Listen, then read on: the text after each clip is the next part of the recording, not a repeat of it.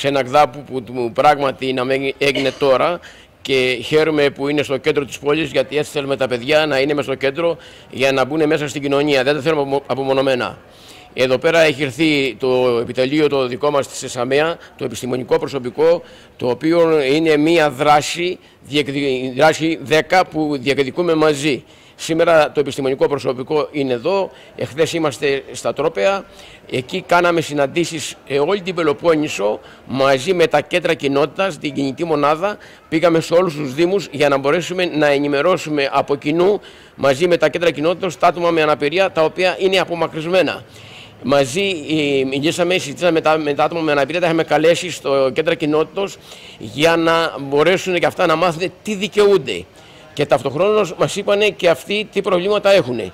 Πολλά θέματα τα οποία λυθήκαν επί τόπου εκεί Άλλα θέματα τα πήραν το επιστημονικό προσωπικό και θα τους απαντήσει, διότι και αυτά, όπως είπα, είναι απομονωμένα. Εμείς τρέχουμε στο τελευταίο χωριό της ε, Πελοποννήσου για να μπορέσουμε να, να, να, στηρίξουμε και να ενημερώσουμε τα άτομα με αναπηρία. Αυτός είναι ο σκοπός μας. Μέχρι στιγμής πιστεύω ότι το έχουμε πετύχει, διότι πολλά άτομα με αναπηρία δεν ήξεραν τίποτα απολύτως, είτε τη διεκδικούνται, τι διεκδικούν, είτε τη δικαιούνται. Ενδεικτικά μπορείτε να μας πείτε μερικές διεκδικήσεις οι οποίες. Ε ε, λύθηκαν από εσάς ή καταγραφήκαν από το κινητή μονάδα; Ναι.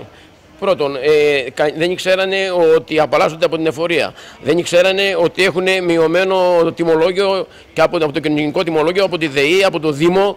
Ε, δεν ήξερανε ότι δικαιούνται τα άτομα με αναπηρία να πάνε να κάνουν τα χαρτιά τους να πάνε για τουρισμό. Δεν ήξερανε τα άτομα με αναπηρία ότι μπορούν να κάνουν τα χαρτιά τους να διοριστούν για αυτά στο δημόσιο όπως ε, δικαιούνται όλα τα, όλα, όλα τα παιδιά του κόσμου. Δυστυχώς η απομόνωσή τους έχει κάνει κατά αυτόν τον τρόπο να μην τα ξέρουν. Νομίζω ότι ενημερωθήκαν πλήρως και θα έχουν μια επαφή και με το Περιφερειακή Ομοσπονδία εδώ στην Τρίπολη και οτιδήποτε ακριβώς τους συμβαίνει στην πορεία είμαστε στην διάθεσή τους να, τους, να τα λύσουμε. Τα οργανικά προβλήματα μέσα στα κέντρα αυτά είναι και θέματα που απασχολούν τους εργαζόμενους αλλά και τα ίδια τα άτομα.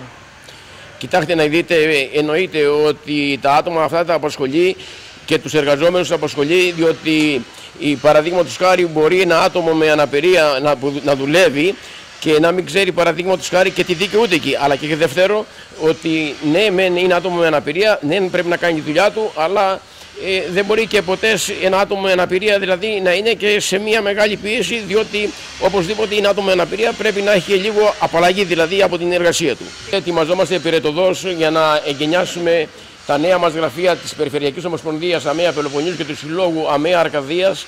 Αγοράσαμε το γραφείο μας στην ε, Νεομάρτυρα Παύλου 2. Θα ετοιμαζόμαστε για τα εγγένειες 28 Ιουλίου στις 7 η ώρα το βράδυ. Θα κάνουμε ασπερινό, θα κάνουμε αρτοκλασία, διότι τον Νεομάρτυρα ε, Παύλο τον ορίσαμε πλέον προστάτη του απειρικού κίνημα κινήματος της Περιφέρειας Πελοποννήσου. Ε, θα έχουμε καλέσει από όλη την Πελοπόννησο όλους, δημάρχους, βουλευτές, κοινωνικές υπηρεσίες, θα έχουμε καλέσει και τον Πρωθυπουργό. Ε, επίσης θα βραβεύσουμε τους ανθρώπους, τους ε, ομογενείς που δώσαν τα χρήματα, θα τους ε, βραβεύσουμε διότι χωρίς αυτούς δεν θα είχαμε σήμερα γραφείο. Είμαστε σε μεγάλη, σε, σε μεγάλη χαρά να είναι το απειρικό κίνημα της Πελοποννήσου διότι είναι το μοναδικό που έχει αποκτήσει χώρο δικό του και αυτό το χρωστάμε στα ξενιτεμένα μας αδέλφια.